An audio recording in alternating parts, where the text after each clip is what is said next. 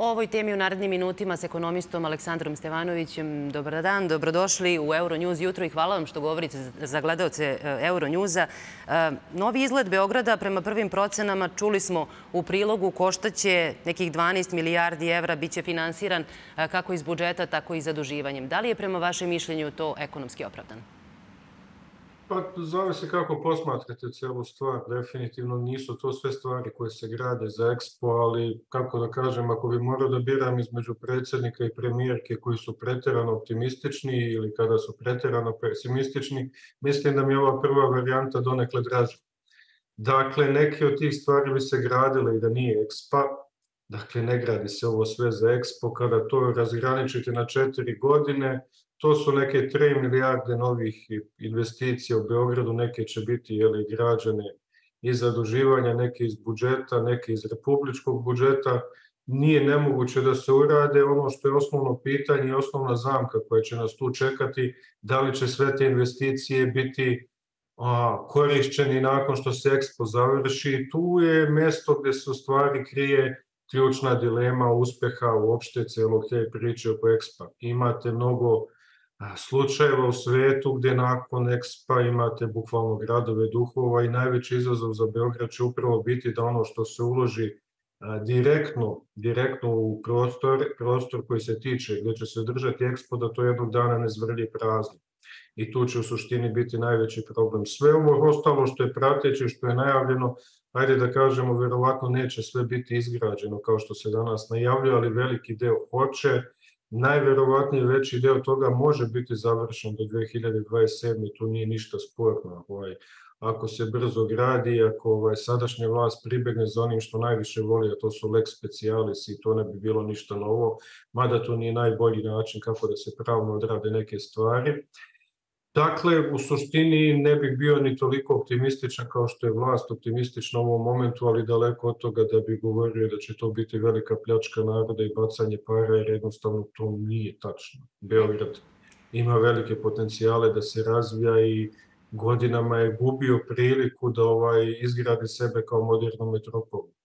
Sad se tu postavlja i pitanje, e, dakle, kako da ne upadnemo u tu zamku koju pominjete, za koju ste i sami jednom rekli da većina država upadne e, onih koji organizuju ovakvu vrstu e, manifestacija. Dakle, kako da se ono sve što je izgrađeno i uloženo nastavi da se koristi i nakon e, te izložbe? Šta treba da se uradi da se to ne desi?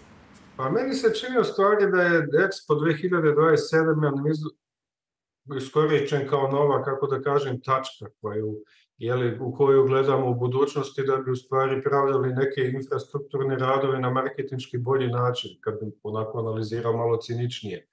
Ovaj, većina tih stvari koje su pomenute Beogradu odavno trebaju da bi bio normalan grad i da bi mogao da se svrsta u ligu s gradovima koji su slični Beogradu. To nisu gradovi bivše Jugoslavije, nego gradovi poput Budimpešte, Beča, Atine. To su e, gradovi s kojima se Beograd može takmičiti u momentu i nadati se da će više ličiti na Beč, recimo, nego na Bukurešt ili Budimpeštu ili Atinu. Dakle, to su i ambiciozni ciljevi, ali nisu neostvarivi s te strane.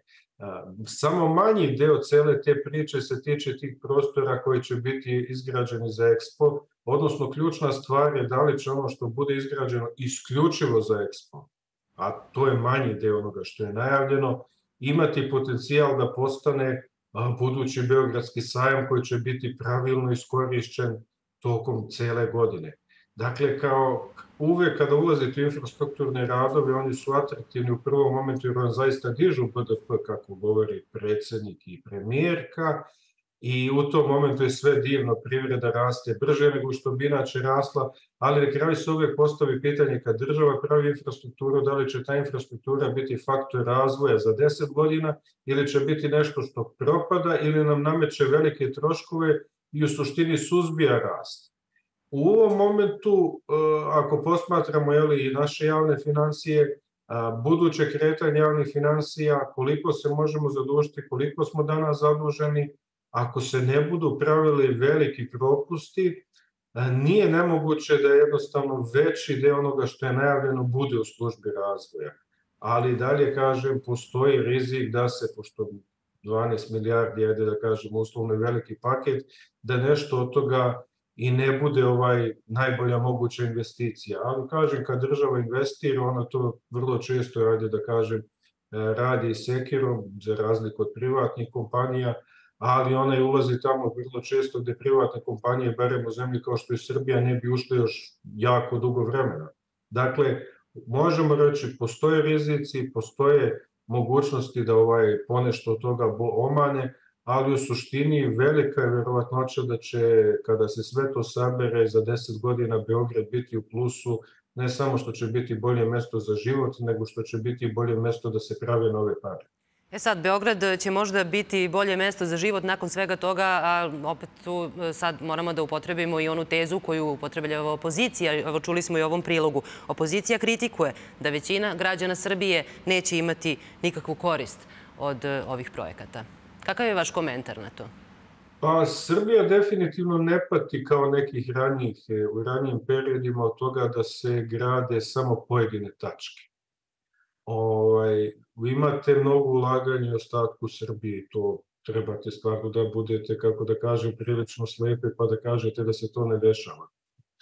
Ako se u Beogradu za četiri godine uloži određena svota, ajde da kažemo da je pomežuto 10 do 12 milijardi i većina toga će na kraju da plate Beograđani, ne vidim u čemu je problem. To deluje kao velika svota, ali u Beogradu danas imate gotovo trećinu ekonomije srpske.